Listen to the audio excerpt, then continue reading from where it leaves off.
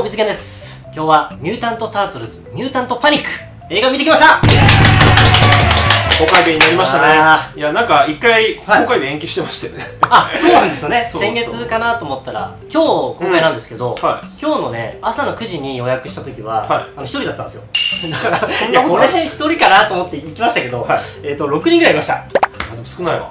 少なかった。6人は少ないわ。少なかった。だからやっぱり、まあ、公開日もね延期したこともあんまり話題になってないぐらいなんでやっぱり日本で知名度はちょっと低いのかなと思ってたんですけど、まあ、僕の世代なんかは子供の頃やっぱアニメやってて、はいはでスーパーファミコンでゲームもやったりしてていそうね。うん。結構タートルズってなんか僕の中で人気作品はい。のイメージだったんですけど、はい。CG のねあの実写版とかうん。あったり展開はしてたんですけども、まあ今回見た目は子供向けのね映画っぽい感じにはなってるんですけど、はい。最近のちょっと子供はちょっとタートルズのこと知らないのかなっていうね。雰囲気はちょっとありましたね。まあ確かにねなんか今思えば設定というかその名前とかもね難しくて横文字だらけなんで覚えにくいかもしれないですよね。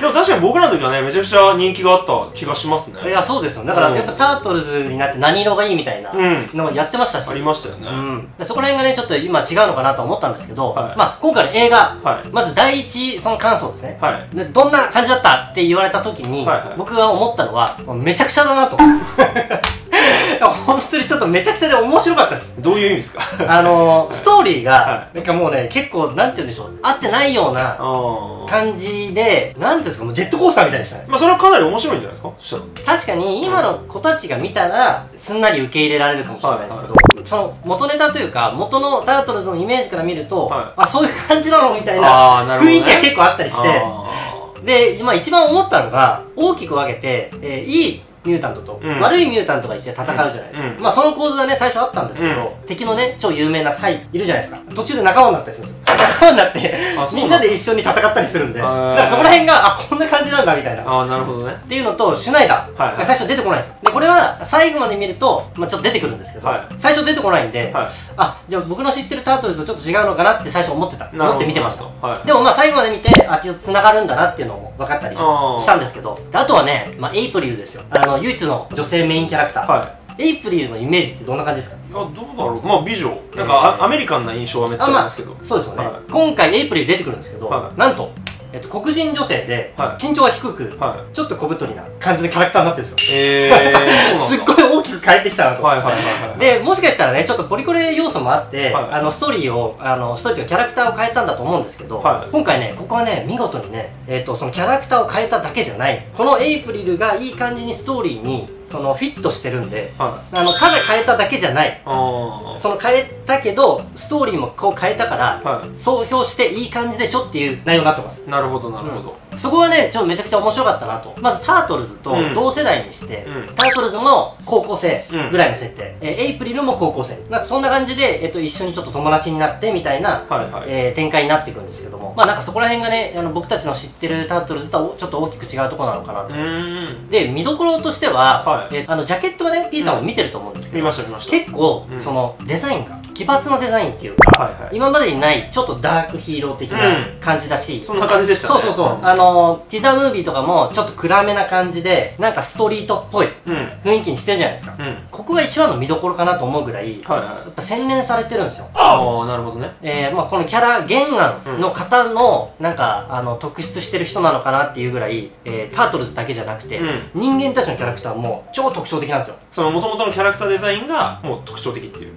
そうです。そうなんだもう元々特徴的で背景とかのそのビルとかもうん。すごいそのそれに合わせて特徴的に描かれていてで今回あの CG アニメーションなんですよ。うんうん。CG アニメーションを、まあ、2D っぽくしてて、うん。そうね。はい。でさらにその多分本当はぬるぬる動く CG なんですけど、はい。映画風にするためにこの FPS をね低くして、うん。うん。あのカクカクさせてるよううん。な感じなんですねなんかそこら辺もね含めてそのキャラデザの人もかなり優秀な方なのかなと。特殊な原案をもとに CG デザインしてる方っていうの多分めちゃくちゃ優優秀な方なのか、はい。でも見てて全然違和感ないし、はいはい。なんかバランスとかが普通に見てもこれ大丈夫なのかなみたいなバランスも、い。なんか全然違和感なく見れて。そこら辺がすごかったんですけどなんとですね全然ネットに情報落ちてないんですよだからもしかしたらすごい有名なうん。人がこう描いてるのかもしれないんですけど、はい。まあ出てくる情報は結構上っ面な情報しか出てこなくて、はいはい なんかそういうあのちょっとコアな情報全然なくてね。あの詳しい人いたらちょっとぜひコメントで教えてください。なるほどね。まあいそうですよね。そうそうそう。だってもともとあれアメリカのものなんでしょ？そうですそうです。それを輸入してるってことですよね、はい。い、やだからアメリカではどうだったのかとかちょっと評判は気になりますけど。あ確かにね、うんなんか一応あの敵キャラのうん。声優さんは、えっとアメリカ版だとアイスキューブがやってるとか。あそうなんだ。だから日本がその輸入してなんか今回誰向けにこう作ったものなのかっていうところもちょっと気になりますよね。だから昔から、はい。そのこの「ミュータント・タートルズ」のファンの人に向けてなのかそれとも新しいファン層を獲得するために作ったものなのかによってだいぶ見せ方が変わるじゃないですか。確かに。だからそれそうなんどうどうですねか？その辺。なんか日本で作ってればちょうど子供ができてたりして、うん。一緒に行くとしたら、うん。ちょうどいいかもしれない。いはい。自分も子供の頃タートルズ見てて、はいまあでもアメリカのものなのでちょっとどういう戦略で出してるのか。もしかしたらアメリカではいまだにやっぱりタートルズ。人気がね。人気があるから、あの実写のね CG アニメとかもやってるし、うん。っていうのがあるんで、まあ、その背景はちょっとわからないんですけど、まあ、ただ見た感じ本当に小学校低学年向けの作品ではないんですよ、うん。えっと結構ね暴力的なシーンが多くて、まあそうですよね。ただ一応子供が見れるようにその人は死なないようになってます。はいはいはいなってるんですけど、まあ、結構暴力的だし結構あのコンビニからなんか物を盗んでるような描写とかも出てるし、なるほど。ね そうそうなんか一概にね子供を見に行けっていう感じの作品ではないです。はいはいはい。しかもなんかもともと日本の要素めっちゃ混じってるじゃないですか、あそれいいところ言いましたね。はい、でそもそも鉢巻きもそうですし、はい。その使ってる武器なんかもそうですし、アメリカの人がね最初作る時にその日本の要素をこう取り入れようと思って作ったのかもともとその忍者をコンセプトにしてるのかよくわかんないですけどはい。なんかそんな感じしましたよね、まあそうですよね。忍者タートルズが、まあ、日本だけのタイトルなんかでもちょっとわかんないんですけど、でももともとなんかフリ2人のクリエイターが、はいはい。なんかこういう話でやったら面白いんじゃないみたいな、はその雑談から生まれた話らしいんです。あそうなんだ。だからたカメレが忍者だったらとか、はいはいはい、はい、そういう感じで生まれたああらしいんでいいですすね、うん。そういう生まれ方してんだ。でだからその遊びの延長で生まれてるから、うん。作品の中でもキャラクターたちもすごい自由気ままに、うん。何でも言うじゃないですか。うん。今回ねその見どころのポイントともう一つありまして、はい。固有名詞さまざまな固有名詞がは映画内で飛び交うんですよ。いはい。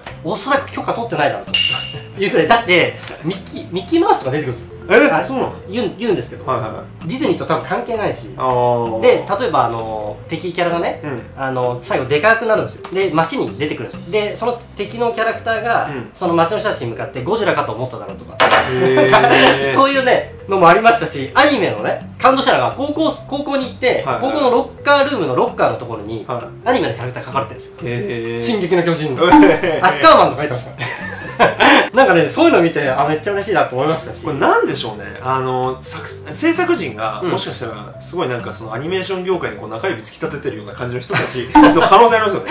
あでも一石投じたろみたいな。そうですね、うん。だからそのさっき言ったエイプリルの改編も含めて、はやっぱり変えるんだったらはいはただ変えたって言われないようにしてるとか、いうんなんかね遊び心もあるし革命を起こそうみたいな感じの雰囲気もやっぱり若干見受けられるなるほどね。あれだってアニメーションだって普通のアニメーションじゃない、うんうんうんなんかそこら辺も含めてねやっぱあの僕たちのねあの好きなタートルズっていうのはちょっと違う形にはなってますけど、なんか応援したくなりましたね。なるほどね、うん。まあそういう過剰な表現みたいなところがコンセプトにあったのかもしれないです じゃあそのこれこれしっかりね、もしかしたらそういう社会現象的な部分を狙ったのかもしれないし、あともちろん変わらないとこもあって、はい。あのネズミの親方とタートルズが下水道で暮らしてるっていうのは、うん。もちろんその設定は変わらないです。よただその今回どうしてみんながカンフーだったり、うん。そのヌンチャクだったり、まあ、棒術とかね、はいはいい。ろいろそういうのを覚えたのかとかその背景をやってくれるんで、ー。なんかそこら辺が結構その今までバク転とタートルズ出来上がったものを見てましたけど、はい。タートルズができるまでみたいなものが若干見れ見れるんでああそうなんだ。なんかそういう楽しさありましたねでねえっ、と声優の方はい。俳優の方たちなんじゃないかなと思ったんですけど、うん。はいはいその中でも特に有名なのがエイプリルでいうと日向坂。46 46の斎藤京子さんが、えー、とヒロイン役のエイプリルをやってます。はいはいはい。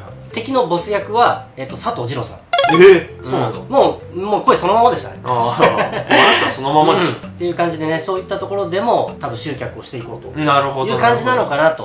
まあ、僕的にはねちょはいっとプロの声優さんたちをうん。使ってほしかったんです。まあね。ね どうしてもね僕らはアニメ寄りですから。で今回のうん。一番感動したポイント、うん。これありまして。はいはさっきもねいろいろ固有名詞が出てくるって言ってたと思うんですけど「進撃の巨人」ですよ、いうん。最後ね。うん。敵のボスをね倒そうと。うん。敵チームだったサイとか。はいはみんな仲間になって、はい。みんなで協力してはい。戦うんですけど、い。はこんだけでかい敵をどうやって倒せばいいんだと、いはい。はいでタートルズの中にオタクっぽいキャラの、はい。えー紫の子がいるわけですよ、はいはい紫の鉢巻きの子が、はい。に聞かれるわけですね。お前はそのモンスターと人間が戦う作品が好きだろうと。どうやってああいう怪物を倒せばいいか分かるだろうと。はい。って考えるんですよ考えて出た答えがは「進撃の巨人だ!」いいるんですか？すごっ進撃の巨人だって言って進撃の巨人は弱点があると。うなじ。に同じね。うんで、えーこのボスで言えばあそこのうなじに攻撃すれば、はい。あの倒せるぞと。はいはいなんでしょう？その、まあ、前振りもあってね。はい。赤番の絵がロッカーに書いてあると、はいはいすっごい大事なポイントで決め台詞のように「うん。進撃の巨人だ」って言ったのが、は感動して僕な泣きそうになりましたでこんだけまず「進撃の巨人」って、はい。アメリカでも、はい。えー、と知名度があるんだっていう。あーそれはね。まもちろんね、世界で売れてるのは知ってましたけど、は一部の人なのかなとか思ってたんですよ。ああなるほどね。でもそのアメリカで大人気の「タートルズ」って作品の一番大事なシーンでうん「進撃の巨人」みたいなこと言われたからなんかめちゃくちゃ嬉しくなっちゃあって。ー。有名人に自分の名前言ってもらうみたいなね。そうですね。ん。P さんなら泣いてたかもしれないですよ。いやいやいやいや。まあ俺今の話聞いて単純に思ったのはいやなんか最後その「進撃の巨人」頼りなんだみたいな。ちょっと思っちゃったんですけど。ああいやでもなんかだからそのコメディ要素があるじゃないですか。はいはい。でもそこに絡めてるんではまあそこで使ってくれたのもやっぱいいなと。い、なんかオリジナルにこう倒してほしかったみたいな。あの時のミュータント・タートルズに倒してほしかったって思ってた人たちは「はい。おい進撃の巨人知らねえよ」みたいな人もいるかもしれないし「なじなんだよ」みたいな話になるかもしれないからいやまあねその両方ともファンの人はめちゃくちゃ嬉しかったかもしれないですけど。いやそうですね、うまあそういうのもありましたしただその僕がめちゃくちゃって言ったのは、うん。まあなんかそのなんて言うんでしょうね。納得できるようなストーリー展開ではなくて、うん。まあ、いきなりこうなっちゃうとか、はいはい。なんかあのネズミの親方はね人間にあのものすごい恐怖を抱いてるんですよ、うんうん。ただ最後報道がされるんですよ、うん。タートルズが、えー街を救ってるみたいな。はい。まあ見た瞬間に、えー、と人間たちが手を差し伸べて、はい。あの異形の怪物たちにはい。手を差し伸べて共闘するみたいな、はい。シーンとかいやそんなことねえだろみたいな。早すぎるだろみたいな。はいはい。はいそんなにドラマまだ生まれてないけどみたいなはい。ところがめちゃくちゃって言ってるだけで、あまあでも、まあ、タートルズって言ったらはちゃめちゃな作あ品。まあねそうね。うん。うん。まあ、そこ的にはね問題ないのかと思うんですけどあと、はい。今回見て、は振り返って、はい。昔のタートルズを、はい。あエイプリルがいはい。ジャーナリストだと。あそうですね。で今回、ジャーナリストを目指してる、えー高校生のエイプリルになってるんです、で報道をすると。って言ってみんなの気持ちが変わるっていうはい。テーマがあるんですよ、なるほど。だからそのなんて言うんでしょうジャーナリズムっていうものの力の強さをうん。もともと表してたんだなと。昔の作品もだってエイプリルがはい。こう報道するじゃないですか、そうですね。ただの演出かと思ってましたけど、はい。やっぱあれってものすごい なんでしょう作品の中でうん。大きなものだったんだなっていうのが今回映画見て分かったんでなるほどね。もうちょっとタートルズを深く理解できたかなとああ。いう感じになりました。確かに言われてみれば俺なんであの 報道してるんだろう。ゲームとかでも出てくるじゃないですか。そう出てきたいやいやなんだろうこれってずっと思ってましたけど、そういうメッセージ性があったんですかそうメッセージはああありましたね。なるほどなるほど。まあそれに気づけただけでも本当見てよかったなと思いました。いやいやいやいや、えーということでね、あのー、今ね何を子供と見に行こうかと、うん。えー迷っている方は、はい。今ちょっとタートルズチャンスなのかなと。まあ出たてですから大ね人向けの作品最近多いんでああそうね。今子供と行くと、まあ、タートルズが絶対こう上がってくると思うんですよ。まあそうなった時はねぜひあの小学校高学年以上だったら一緒に見に行ったらいいんじゃないかなと思います。確かにね。なんか特典とかあったんですか？なんもないです。ないの？